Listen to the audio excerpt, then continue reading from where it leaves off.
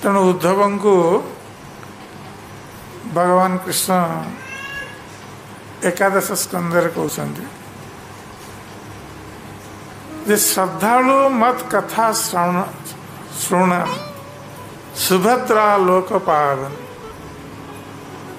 ତେଣୁ ଏ ଭକ୍ତି ଆରମ୍ଭ ହେବ କିପରି? ନା ଜଣେ ଭଗବାନ ଭକ୍ତି କରିବାକୁ ହେଲେ କୃଷ୍ଣଙ୍କର ଭକ୍ତି କରିବାକୁ ହେଲେ ଜଣେ ଭଗବାନ କୃଷ୍ଣଙ୍କ ଉପରେ ଏବଂ ତାଙ୍କର କଥା ଉପରେ ଦୃଢ଼ ବିଶ୍ୱାସ ବା ଶ୍ରଦ୍ଧା ରହିବା ଆବଶ୍ୟକ। ଯଦି ଆମେ କୃଷ୍ଣଙ୍କର ଅଂଶ ଆଉ କୃଷ୍ଣଙ୍କର ସେବା କରିବା ଆମର ହେଉଛି ପ୍ରଥମ କର୍ତ୍ତବ୍ୟ। ଅନେକ ସମୟରେ ଆମେ କୃଷ୍ଣଙ୍କ ସେବାକୁ ଆମର ଦ୍ୱିତୀୟ କର୍ତ୍ତବ୍ୟ ବା ପର କର୍ତ୍ତବ୍ୟ ବୋଲି ଭାବୁ। ଆମେ ପ୍ରଥମେ ନିଜର ସେବା ତାକୁ ଆମେ ପ୍ରଥମ କର୍ତ୍ତବ୍ୟ ବୋଲି ଗ୍ରହଣ କରୁ। ତେଣୁ ଅନେକ ସମୟରେ ଯେଉଁ ଭକ୍ତମାନେ ସବୁ ଘର କାର୍ଯ୍ୟ ବା ନିଜର ସବୁ କାର୍ଯ୍ୟ କରିଥାନ୍ତି ଜପକୁ ପଛରେ ରଖିଥାନ୍ତି। ଯେ ମୋର ଏସବୁ କାର୍ଯ୍ୟ ଶେଷ ହେଲେ ମୁଁ ପଛରେ ଜପ କରିବି। ତା ଅର୍ଥ ନିଜ କାର୍ଯ୍ୟକୁ ସେମାନେ ପ୍ରାଥମିକତା ଦେଉଛନ୍ତି ଜପକୁ ପଛରେ ରଖିଦେଉଛନ୍ତି ତେଣୁ ଜପ କରିବାଟା ପ୍ରଥମ କାର୍ଯ୍ୟ ବୋଲି ଭାବୁନାହାନ୍ତି। ତେଣୁ ସେମାନଙ୍କର ଜପ ହୁଏନି। ବା ଜପ ଯଦି କଲେ ମଧ୍ୟ ଠିକ୍ ଭାବରେ ଜପ କରିପାରିବେ।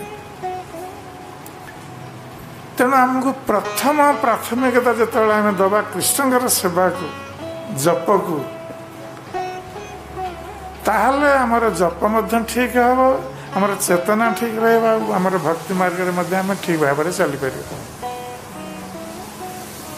ତେଣୁ ଶ୍ରଦ୍ଧା ଭଗବାନଙ୍କର କଥା ଶ୍ରବଣରେ ଶ୍ରଦ୍ଧା ଏ ବହୁତ ଆବଶ୍ୟକ। କାରଣ ଜପ କରିବା ପାଇଁ ଇଚ୍ଛା ହେବ ବା କୃଷ୍ଣଙ୍କର ସେବା କରିବା ପାଇଁ ଆମର କେତେବେଳେ ଇଚ୍ଛା ହେବ ଯେତେବେଳେ ଆମେ ଭଗବାନଙ୍କର କଥା ନିଷ୍ଠାର ସହିତ ଶ୍ରବଣ କରିବା।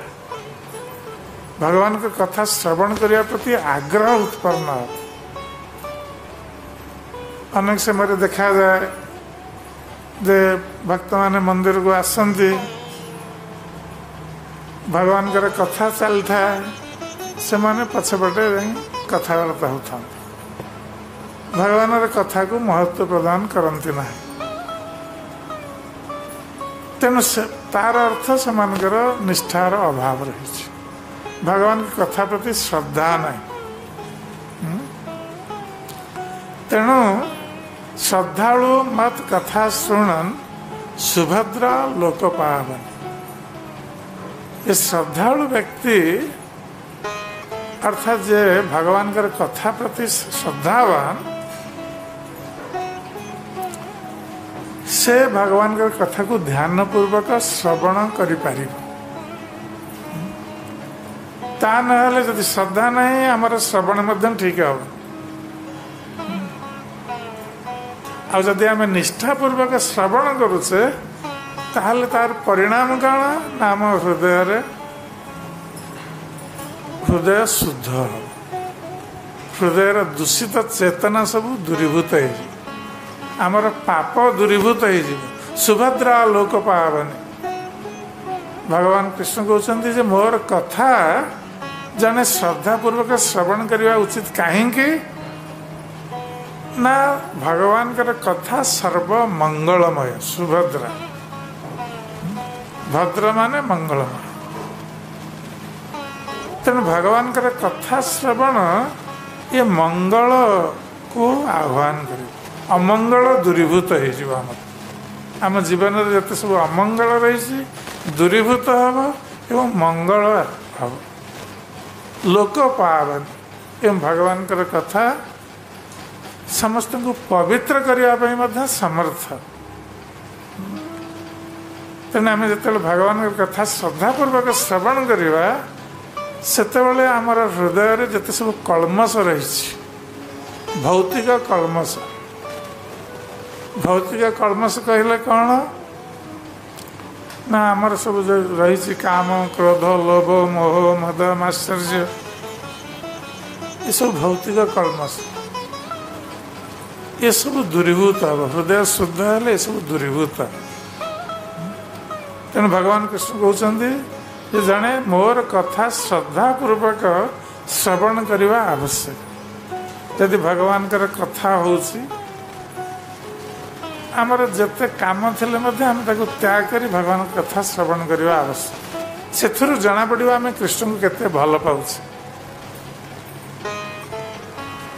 ଆମେ ଯଦି ଭଗବାନଙ୍କ କୃଷ୍ଣଙ୍କର କଥା ଶ୍ରବଣ କରିବା ତାହେଲେ ଭଗବାନ କୃଷ୍ଣଙ୍କ ପ୍ରତି ଆମର ଆସକ୍ତି ବୃଦ୍ଧି ହେବ।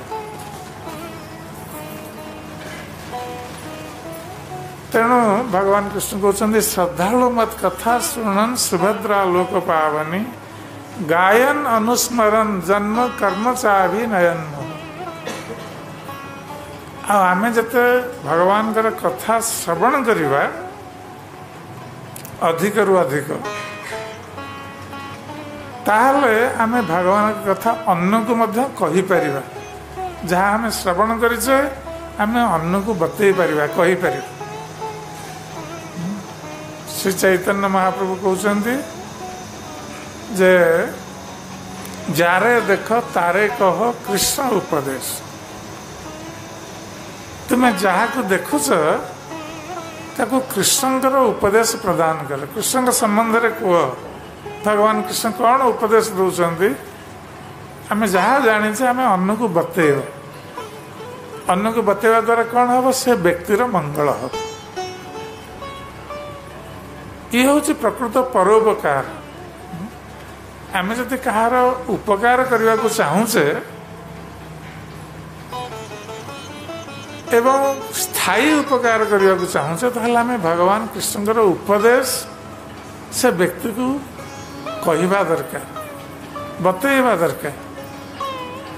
ଆମେ ହୁଏତ ଭୌତିକ ଦୃଷ୍ଟିରୁ କାହାକୁ କିଛି ସାହାଯ୍ୟ ଆମେ କରିପାରୁ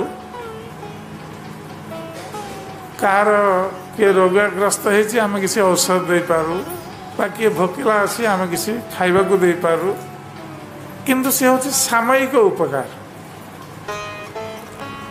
କିନ୍ତୁ ପ୍ରକୃତ ପରୋପକାର ପ୍ରକୃତ ନିତ୍ୟ ଉପକାର ହେଉଛି ଆମେ ଯଦି ଭଗବାନ କୃଷ୍ଣଙ୍କର କଥା ତାକୁ କହିବା ଭଗବାନ କୃଷ୍ଣଙ୍କର ଉପଦେଶ ତାକୁ ପ୍ରଦାନ କରିବା ତାହେଲେ ସେ ବ୍ୟକ୍ତିର ସବୁ ସମୟ ପାଇଁ ତାର ଉପକାର ହେବ।